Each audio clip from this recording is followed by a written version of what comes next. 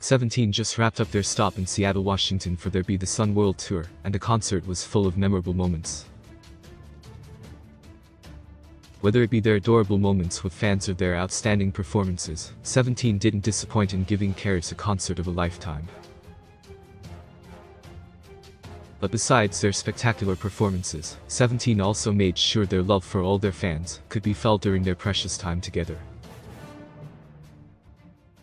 Seventeen's producer and close friend Bumzu posted a video on his story of the American Sign Language interpreters they hired for the concert. Seventeen have always done their best to make sure all CARATs feel loved and included, because music is for everyone to enjoy, regardless of their disabilities. Being a performance-heavy group, Seventeen incorporates sign language in many of their choreographies, like their most recent title track, World.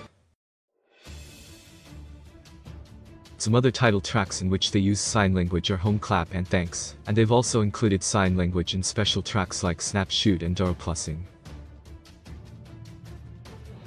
They've been including sign language in their choreography since 2016 with Pretty U. Since 17 are in charge of their own choreography, their constant inclusion of sign language speaks volumes about the care and love they put into everything they do. Seungkwan has also used sign language during his gift for all mothers on Parents' Day, delivering a touching performance along with his mesmerizing voice. While people are first drawn to 17 because of their artistry and chaotic dynamic, CARATs fall deeply in love with them over time, because the members are always kind and respectful, even in the smallest of